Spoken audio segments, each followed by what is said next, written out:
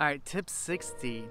Common question we get are closing costs. How do I calculate my closing costs?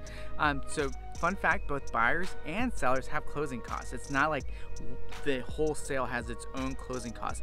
Sellers are gonna have closing costs, that's their fees. Buyers are gonna have their closing costs, and that's there. We're gonna talk about buyers' closing costs.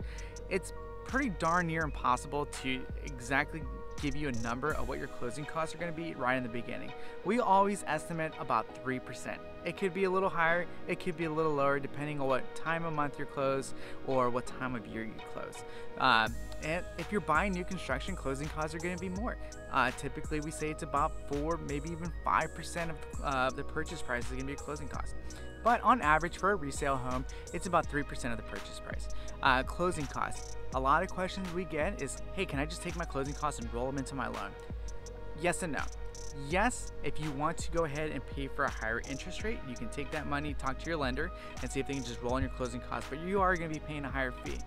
No, if you don't want to uh, affect your interest rate and you want to keep it at that really nice low interest rate you got, then you're going to have to pay for your closing costs up front way we kind of negotiate that is ask to see if the sellers will go ahead and help us cover your person, person uh, excuse me, portion of closing costs as a buyer.